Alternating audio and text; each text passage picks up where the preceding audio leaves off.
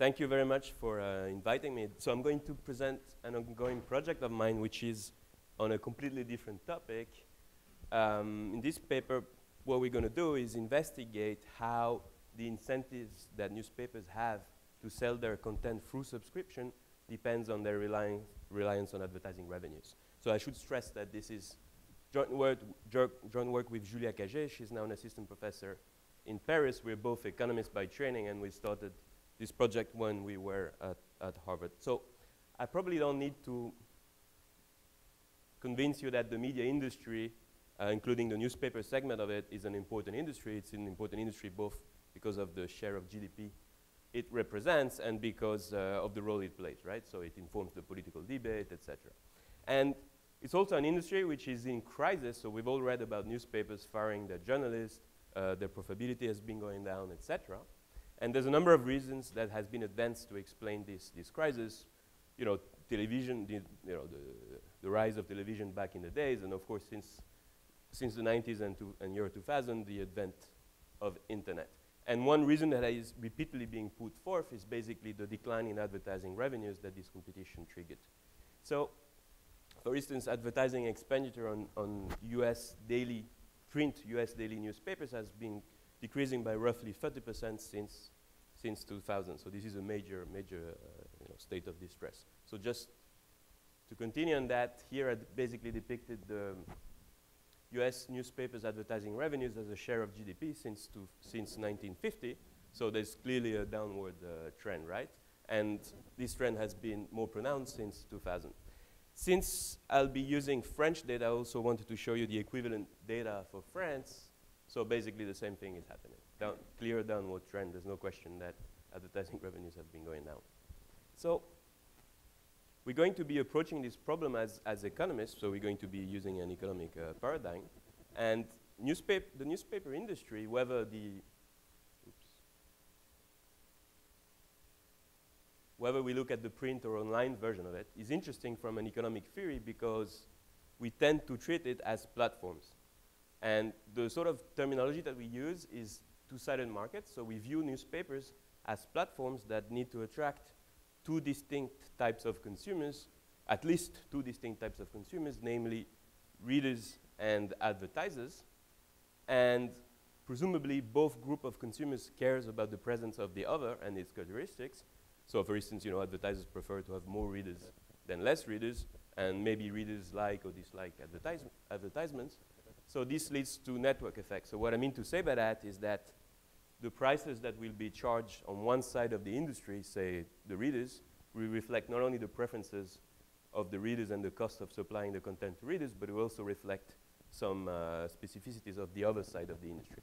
So for instance, it's sort of commonly thought, and it, it actually there's a lot of empirical evidence for that, that the prices that are charged to readers are actually lower compared to a counterfactual world in which advertising doesn't exist, right? The idea is that advertisers want to, to target a lot of readers, so they, they're willing to subsidize readers. So in fact, this, is, this, could be, this effect can be so pronounced that readers can, be, can pay a price which is below the cost of serving them. So we, we can think, for instance, of the free, free newspapers. So from the newspaper, another salient feature of the,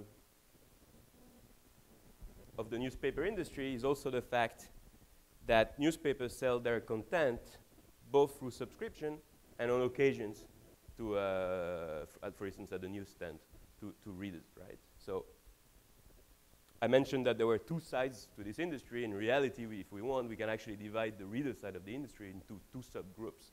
The readers, the, the sorry, the subscribers and the occasional readers.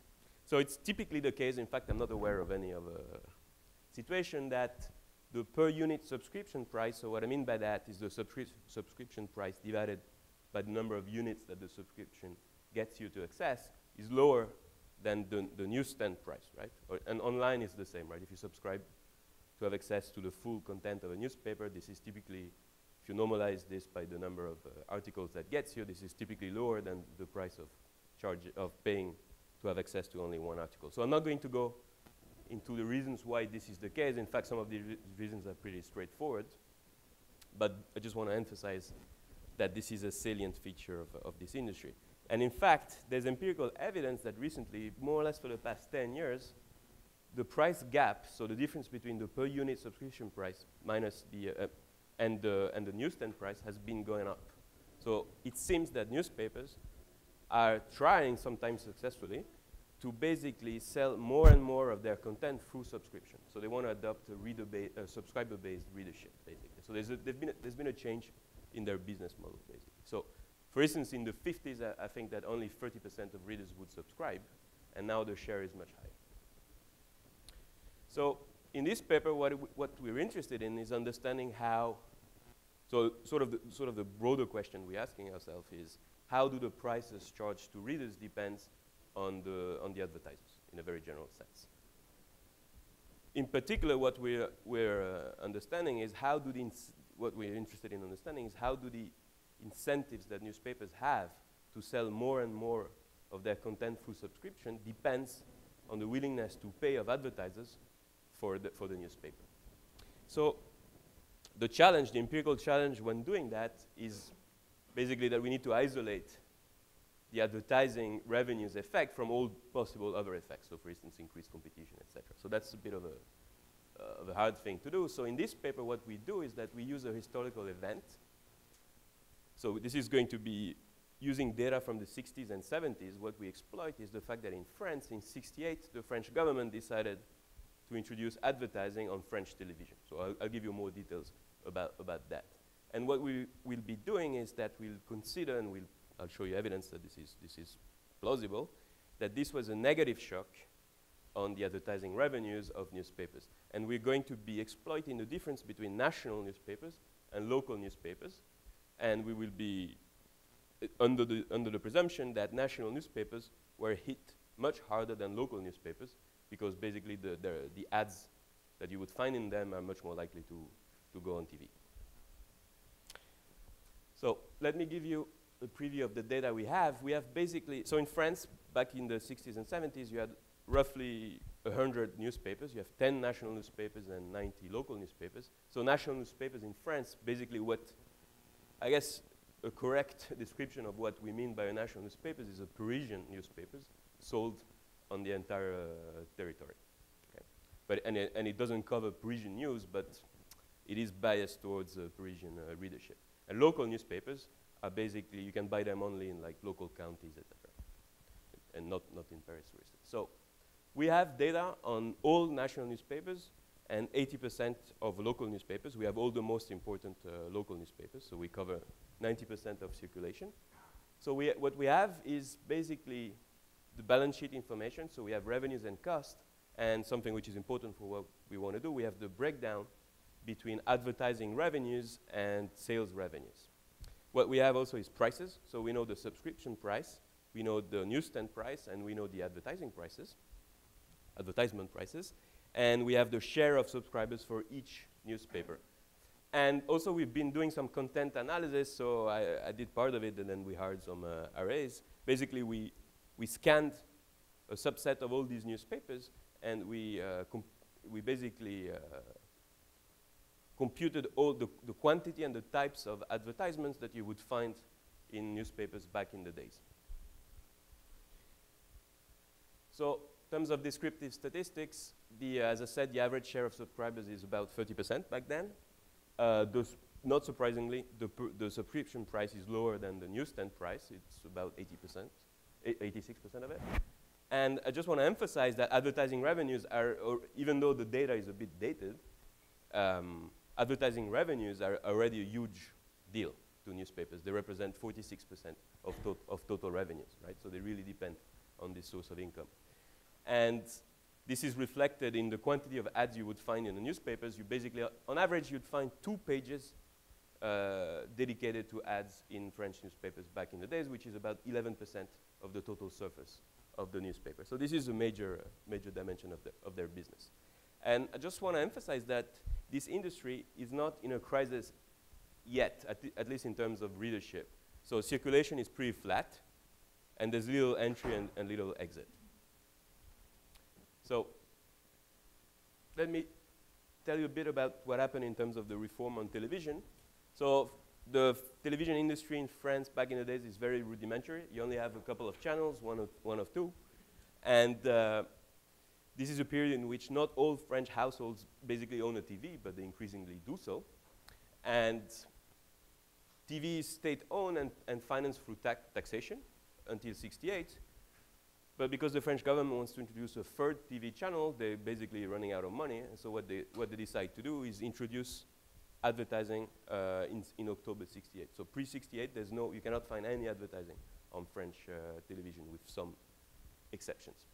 So this, this reform is announced in October 67 and it's implemented in uh, 1968, in a year later. So here I've depicted a number of minutes you would find on, uh, on French television. So not surprisingly, before 68, you have zero minutes of, ad of ads per day. In 68, you have two minutes. Then in 69, you have four minutes, then eight minutes, and, it, and the increase uh, never stopped. So as I said, we view this as, so first of all, we view this as, a, as something which is exogenous to the, to the newspaper industry. So the, the reason why the government decided to introduce advertising on, on television had nothing to do with the state of the newspaper industry. It was to, in order to finance this third channel. And presumably, we view this as a, as a negative shock, right? So advertisers now have an, an additional uh, platform on which they can put their ads, and this can only be a bad thing for, for the existing uh, platforms.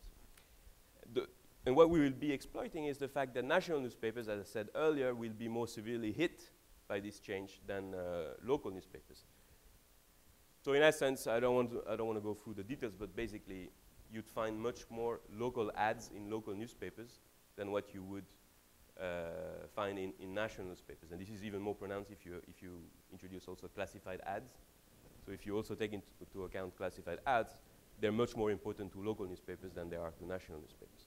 So what I mean to say here is that national newspapers depend much more on advertisers that are more susceptible to go and put their ads on TV. So just some sort of uh, anecdotal, almost anecdotal evidence that this is indeed a negative shock that affects the national newspapers. Here I basically plot, the bars represent the advertising revenues as shares of total revenues to both national and local newspapers, pre and post shock.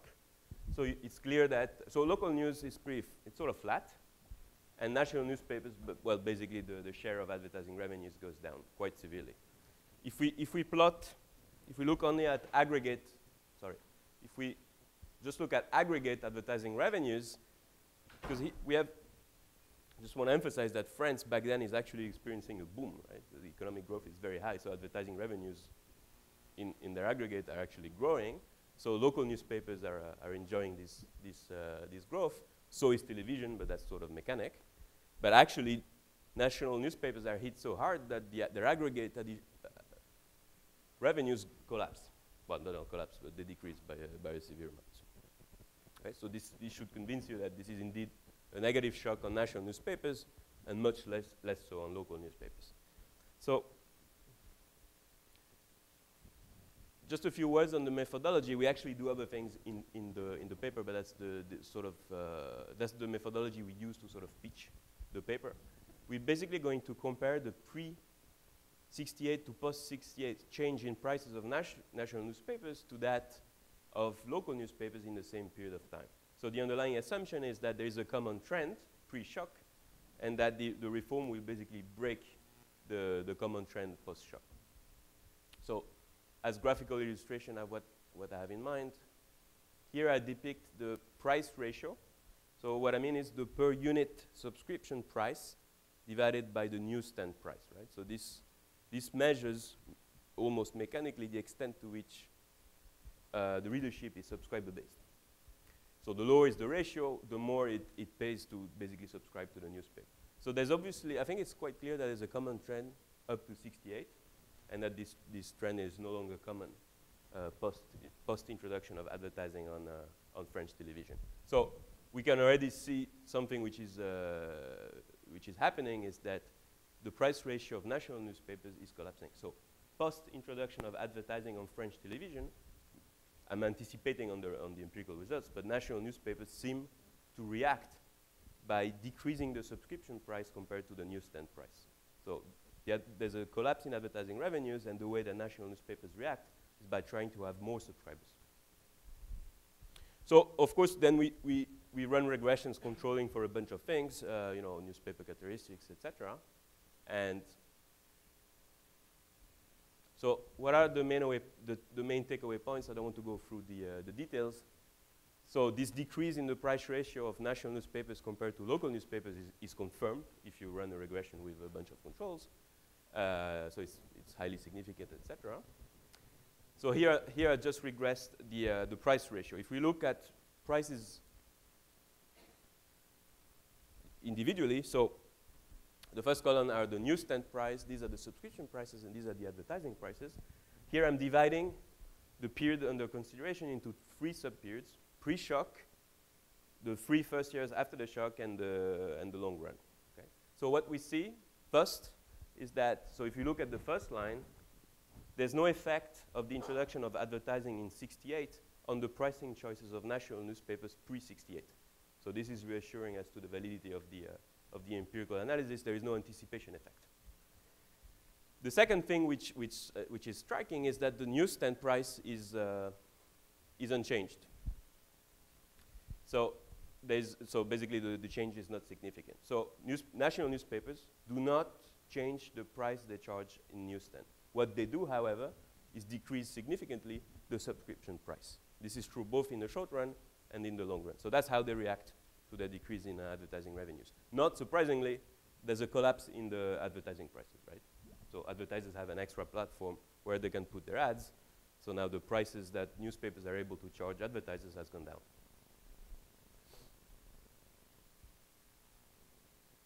Now, in terms, this, in a sense, this is the results that I find the most uh, intriguing and, uh, and interesting if we look at what happened to advertising in advertisements in these in new newspapers, what we find is that national newspapers react to the decrease in, in uh, advertising revenues by actually increasing the quantity of ads that you would find in their pages. So this is the second column. However, what they also do is also increase the number of pages of newspapers. So what I'm saying is that they increase the content that readers care about, right? More sport, more art, I don't know. And in fact, they do that in a way that the share of ads in the newspaper is, is basically unchanged. So the, here the effect is not statistically significant. So summarizing, what happened back in the days is that national newspapers, following the decline in advertising revenues, reacted by actually increasing the quantity of ads, but also increasing the content to readers so that so that the proportion of content to, to uh, ads is actually left unchanged. Okay, so this is not what we were expect expecting at all because as economists, you know, the first thing that comes to mind is that you know, if the willingness to pay of my buyers goes down, I'm going to sell less of the product to them. You know. So there's also a theory component to our, to our project. So, uh, so here basically what we do is you know, an applied game theoretic uh, framework. So let me just give you the main elements of what we do and why and how we use this to basically try to make sense of what we observe. So we, we develop a re relatively simple model with a mono monopolist newspaper interacting with a set of advertisers and a set of readers. Uh, we assume, so this is we assume that readers are sort of heterogeneous in their willingness to pay for, uh, for the newspaper. And we also, so this is going to be a repeated, uh, repeated game. And every day there's a shock on their willingness to read, right? So these are political events, sport events, etc. Their willingness to pay fluctuates over time. And the advertisers, they're also heterogeneous in their willingness to pay for, uh, for uh, newspapers. And I mean, we, we try different things, but we sort of maintain the assumption that they prefer more readers to less readers which I think is sort of plausible. So let me get you the so we allow the newspaper to, to sell, in fact this is important because this is what we're interested in, we, we allow the newspaper to sell its content both through subscription or on occasions to readers through newsstands. And, okay. So let's try and make sense of what we've observed empirically if you agree with me that the introduction of an alternative platform for advertisers is sort of equivalent to a decrease in the willingness to pay of advertisers for the, uh, for the uh, incumbent platform. It's a little bit surprising that we would observe a decrease in the, so one thing which is surprising is that we would observe a decrease in the prices charged to readers. So remember that the newsstand price is unchanged, but the subscription, subscription price decreases. So the reason is as follows. Um, if I'm the newspaper and I want to attract advertisers, I have to sell, I have to give them a lot of readers.